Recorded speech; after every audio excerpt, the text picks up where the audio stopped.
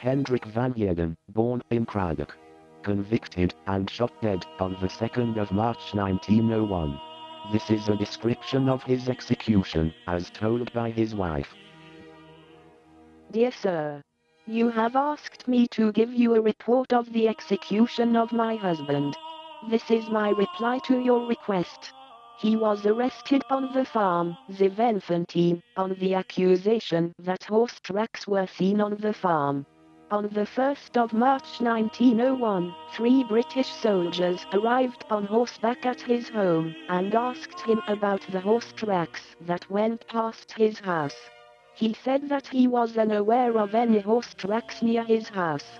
They insisted that horse tracks went past his house, and although he knew nothing about this, they arrested him and put him on a horse, and took him with them.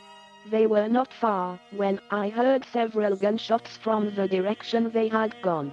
At least one shot struck my husband. I was still standing and watching, since the moment that they rode away from our house. The Hottentot, who was with us, ran away behind the rise, and hid himself in a hole. About five minutes later, I heard more shots. The English soldiers were hit, and fell to the ground. I ran towards them, a servant girl came with me, and we brought my husband back to our house. We nursed him, as best we could, about 3 o'clock in the afternoon, an ambulance wagon came to fetch him and the three English soldiers. When the doctors saw him, they were surprised, and asked but were the Boers behind them, then? Because he had been shot in the back. I replied no, they were in front of him, because they were about 700 paces from our house when my husband fell. Not from hearsay can I confirm this, but with my own eyes did I see it.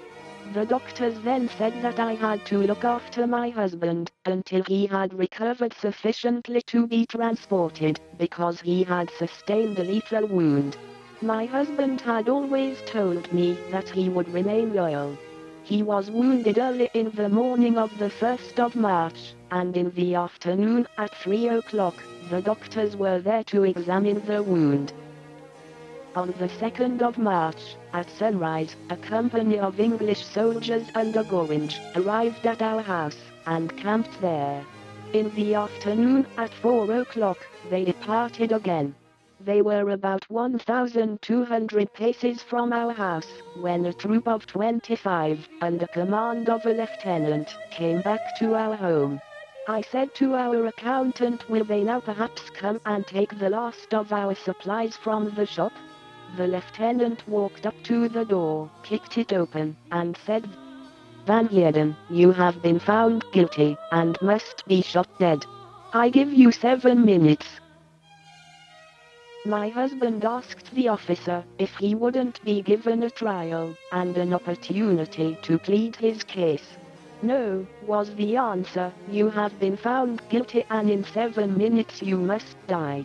I held him in my arms the whole time, and when the seven minutes were over, they tore him from my arms, put him on a blanket, carried him outside, put him on a wooden box behind a wall, and shot him dead.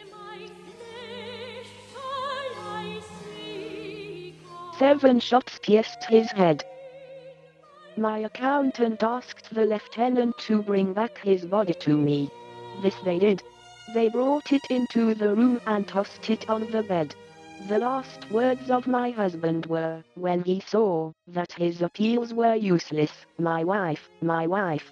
Put on my gravestone, innocent blood, innocent blood. He was buried by Pastor Isaac van der Merwe, and seven blacks. So, having fulfilled your request, I call myself, your friend, M. M. Van Heerden.